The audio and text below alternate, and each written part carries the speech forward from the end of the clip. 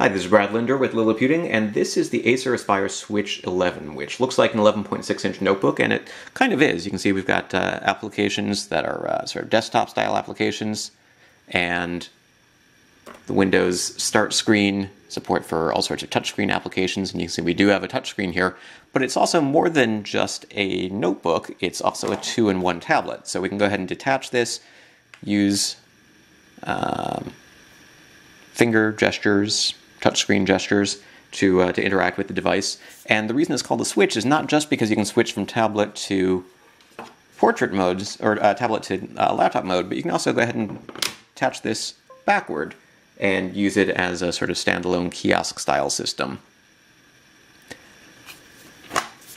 It has a magnetic docking mechanism here. So you just place it there and it's nice and firm. You can pick it up by it, um, but it also detaches just by pulling. So hold down on the base and pull and it clicks right out. Now Acer also has a 10 inch model. This is the 11 inch model. that has a more powerful processor. This version was loaned to me by Acer and features a Core i3 uh, Broadwell processor, 4 gigabytes of RAM, and 128 gigabytes of storage.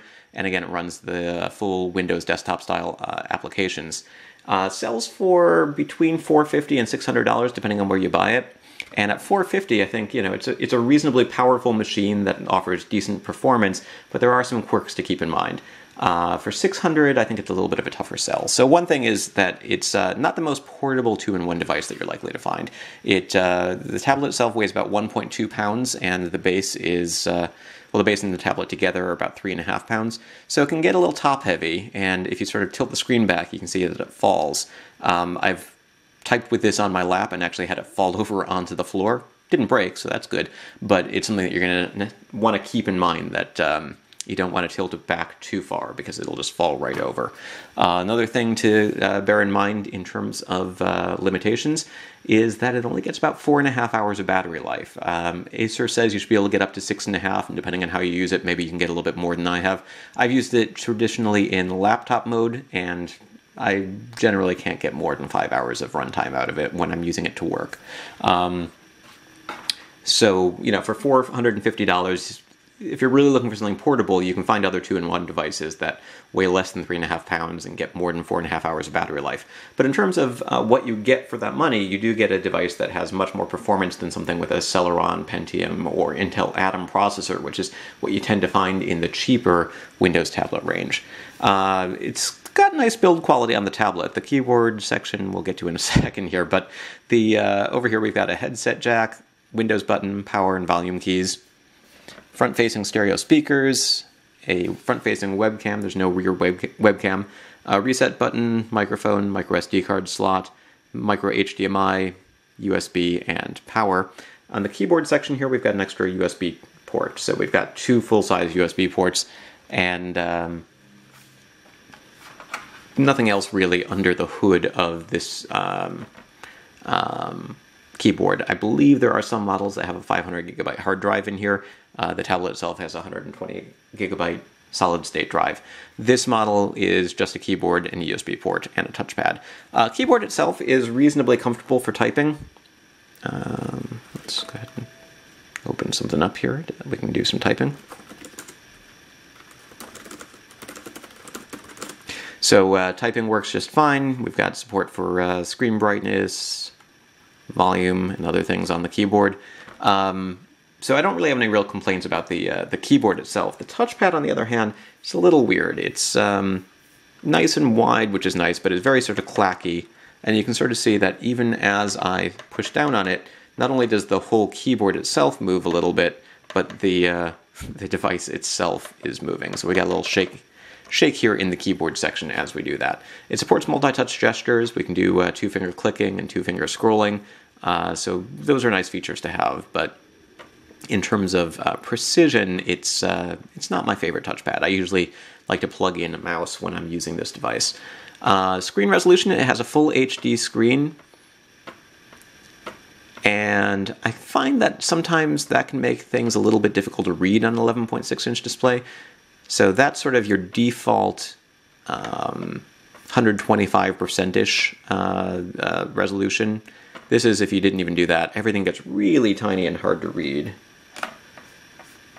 I like to go with the larger option here, which just makes everything a little bit clearer and easier to read, although it can sort of mess up some things as we're seeing. Um, so you don't get to fit as much stuff on the space when you go to this sort of 150%, but it uh, it's a little bit easier to read. Now, if your eyesight's better than mine, you might not necessarily need to do that, but uh, while I do like the option of being able to say put two windows side by side in a web browser, I'd rather be able to read the text that's in both of those windows than have everything look too tiny.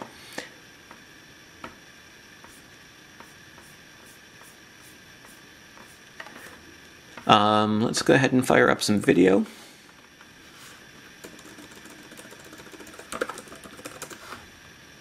And I'll talk a little bit about the screen viewing angles and uh, other features.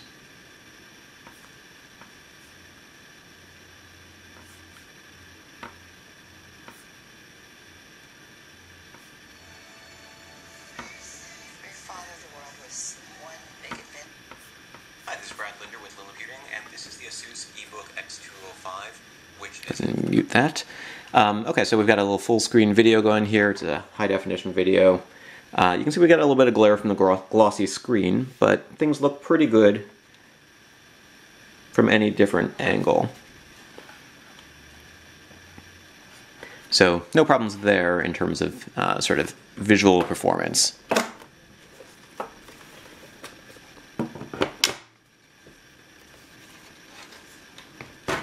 Now again, the biggest problem is going to be that you've got four and a half hours. So if you wanted to do a cross-country flight, you wouldn't necessarily be able to watch video the whole way unless you had a uh, spare battery or a power adapter or something with you. Um, speakers, eh, they're reasonably loud. I mean, they're, they're tablet speakers. They're not the best sounding that I've heard, um, but they'll do in a pinch. You'll probably want to plug in headphones or something else if you wanted higher performance audio.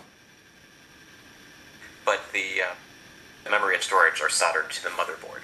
But it's a compact machine, isn't it? So it interacts well with touch. Um, I find that some things can be a little bit sort of awkward when you're using a two-in-one device like this. It might get better with Windows 10, which has Continuum uh, for switching back and forth between tablet and desktop modes. But when you do things like in certain apps, touch the screen because you wanted to use it instead of the uh, touchpad, it'll bring up the on-screen keyboard. As soon as you start typing, it goes away, but it can be a little bit disconcerting. Now, that doesn't happen in every application, but it does happen in some applications. So um, there's still vestiges, even though 8, Windows 8.1, I think, does a better job of balancing desktop and, uh, and tablet modes than Windows 8 did. Um, it can still get a little awkward from time to time. Um, so anyways, that's that's a quick look at sort of Windows 8.1 running on the Acer Aspire Switch 11. Uh, it's a machine that offers decent performance, and you'll be able to find benchmarks and other uh, details, as well as uh, more photos and, and, thoughts at liliputing.com.